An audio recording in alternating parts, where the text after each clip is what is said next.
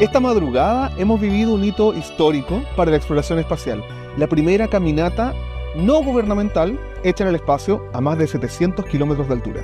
Esta fue una de las misiones espaciales más complejas que se ha hecho hasta ahora por parte de SpaceX, porque además de llevar una tripulación a más de 1400 kilómetros de altura, esto ha sido lo más lejos que han ido humanos después de las misiones Apolo. La maniobra no fue como las caminatas espaciales convencionales, porque la cápsula Dragon tiene una escotilla en lugar de una esclusa de aire. Esto significó que todo el interior de la nave espacial tuvo que despresurizarse y quedar expuesta al vacío del espacio.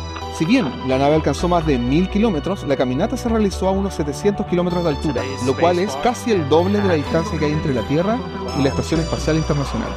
El objetivo de esta caminata era probar los nuevos trajes espaciales diseñados por SpaceX, siendo esta la primera vez que se usan en el espacio. Lo interesante de estos trajes es que ponen a prueba nuevas técnicas para generar pequeñas naves espaciales acopladas a los cuerpos de los astronautas, lo cual es un gran salto y diferencia con los antiguos trajes usados por la NASA.